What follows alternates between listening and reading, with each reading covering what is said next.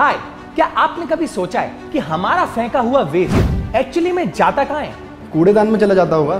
कोई उठा लेता होगा। कूड़े वाला ले जाता होगा। Okay but where does it eventually end up I don't know हम जो भी ट्रैश रोड पे फेंकते हैं वो विंड से या फिर रेन वाटर से ड्रेनेज सिस्टम में एंटर करता है और सीवर पाइप के थ्रू वाटर वेज में मिल जाता है। और वहाँ से होते होते ये सारा ट्रैश ओशंस में जा पहुँचता है।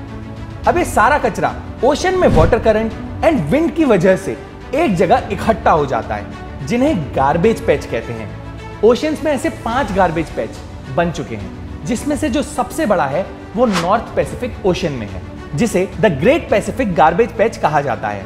और इस समय इस गार्बेज पैच का size six lakh square mile से भी ज़्यादा है विच मीन्स फ्रांस का तीन गुना। और ये सिर्फ़ एक गार्बेज पैच का साइज़ है। जस्ट थिंक बाकी चारों का मिला के कितना हो जाएगा? दैट इज़ राइट इतना सारा वेस्ट ओशंस में हमारी वजह से कलेक्ट हो गया। हाँ पर मैं रोड पे लेटर नहीं करता। सारा कूड़ा डस्टबिन में ही डालता हूँ। ओके सो लेट्स सी हमारा डस्टबिन में फेंका हुआ कूड़ा कहाँ एंड अप होता है?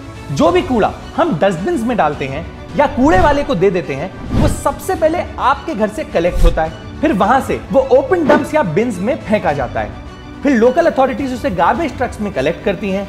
और लैंडफिल्स में डंप कर देती हैं। एक साल में अराउंड 277 मिलियन टन का सॉलिड वेस्ट जनरेट होता है जिसमें से 80 परसेंट वेस्ट लैंडफिल्स तक जा पहुँचता है। रिपोर्ट्स के हिसाब से अगर ऐसा ही चलता रहा तो ईयर 2050 तक इंडिया को न्यू दिल्ली के साइज़ जितना लैंडफिल चाहिए होगा। हाँ पर लैंडफिल से प्रॉब्लम क्या होती है? लैंडफिल से कई प्रॉब्लम होती हैं। फ़र्स्ट एयर पॉल्यूशन वेस्ट की वजह से लैंडफिल में मीथेन गैस प्रोड्यूस होती है, जो कार्बन डाइऑक्साइड से कहीं गुना ज़्यादा स्ट्रॉन्ग गैस मानी जाती है। इसी वजह से लैंडफिल में कई बार आग भी लग जाती है, जिससे एयर पॉल्यूशन इंक्रीज होता है। सेकेंड सॉइल पॉल्यूशन जितनी लैंड इस बेस से कवर होती है, वो पूरी कंटेमिनेट हो जाती है, जिसकी वजह से सॉइल पॉल्यूशन भी होता है। Third harms natural life landfills में organic waste solid waste e waste सारा वेस्ट मिक्स हो जाता है। तो इसकी वजह से जब बर्ड्स और animals left over food consume करने आते हैं तो फ़ूड के साथ साथ कई बार वो सॉलिड वेस्ट भी कंज्यूम कर लेते हैं जिसकी वजह से वो सीवियरली सफ़र करते हैं। दैट्स रियली डिस्टर्बिंग तो हम क्या कर सकते हैं? Reduce reuse and recycle reduce कुछ भी खरीदने से पहले ज़रूर सोचें कि क्या आपको इस प्रोडक्ट की एक्चुअल में ज़रूरत है। क्योंकि जितने कम प्रोडक्ट्स हम यूज़ करेंगे उतना ही कम वेस्ट हम जनरेट करेंगे। रीयूज हमारी आदत बन गई है कि सामान खराब होते ही हम उसे फेंक देते हैं।